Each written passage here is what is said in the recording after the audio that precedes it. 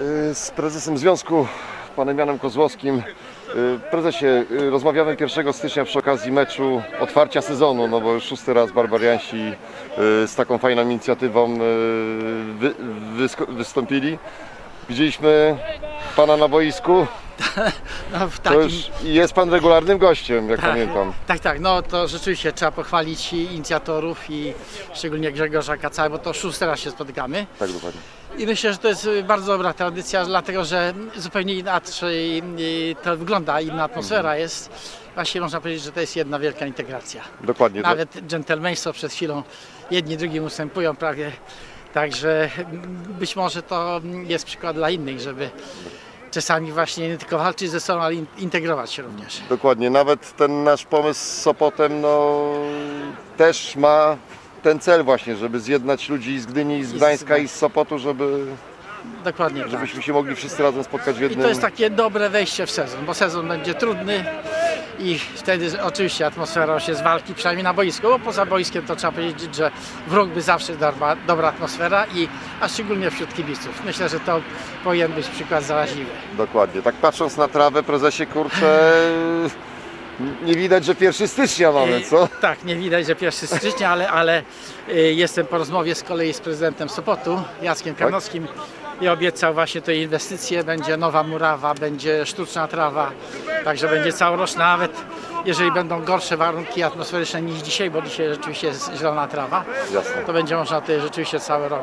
grać. Ale to trenować. mówimy o, o tym roku, czy, O, czy o tym roku, tak? czyli o tym w roku. 2014? 2014 roku, tak. Zobaczymy tylko, żeby klub Ogniwo tutaj do tego podszedł y, tak po gospodarsku. To mamy największego To ze strony, ze strony prezydenta Sopotu jest y, przyrzeczenie, że ta inwestycja będzie zrealizowana.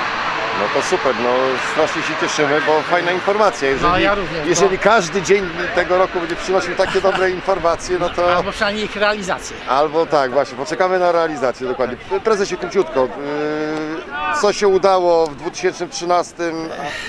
No w 2013 y, my- mnie się wydaje, że najbardziej moim zdaniem wartościowym to był rozpoczęcie projektu Rugby Tak dla dzieci.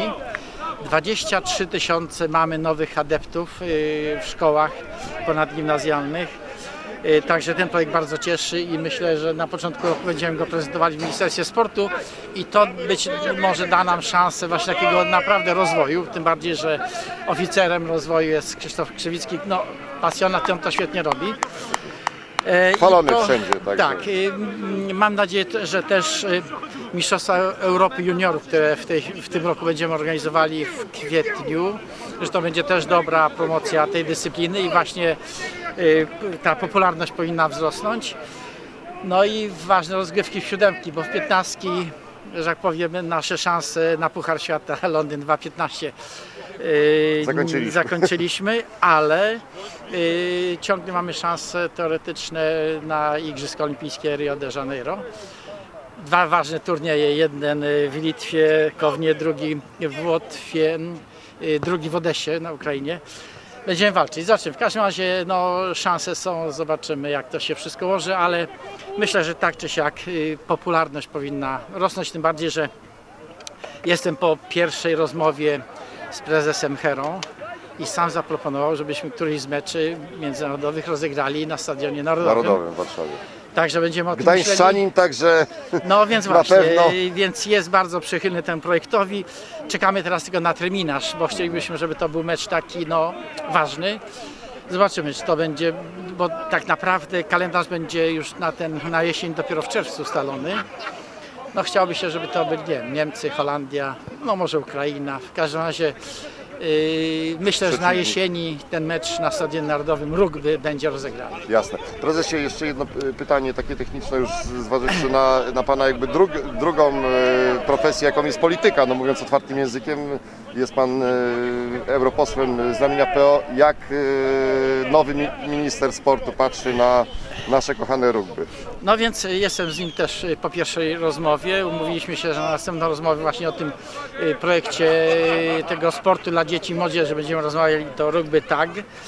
Na pewno myślę, że ponieważ sam zadeklarował, że oprócz lekkiej atletyki na przykład gry zespołowe będą jego oczkiem w głowie, ponieważ Rugby to jest najbardziej zespołowa ze wszystkich gier zespołowych, więc myślę, że nie ma wątpliwości, że będzie przychylny dla tej dyscypliny. Portal 80 minut się zgadza z tą tezą. Jak najbardziej prezesie, czego życzymy? Wszystkim... No, ży, życzymy, żeby, żeby y, jak najwięcej młodych adeptów trafiło do, bo z ilości robi się jakość i żeby popularność y, wzrosła, żeby coraz więcej kibiców przychodziło na mecze, nie tylko międzypaństwowe, ale również tutaj klubowe. Y, No i żeby atmosfera była dalej wśród kibiców tak dobra jak jest, żeby nie było żadnych, żeby tak na ostatnie mecze na Polonii przychodziły rodziny z dziećmi i to, i to naprawdę był bardzo budujący obraz i myślę, że tak będzie, także Czyli rok optymistycznie. 2014 powinien być dla rugby dobrym rokiem. I ogłaszamy za otwarty oczywiście. Ogłaszamy za otwarty. Dziękujemy Dziękuję jeszcze bardzo, raz. Ukłony.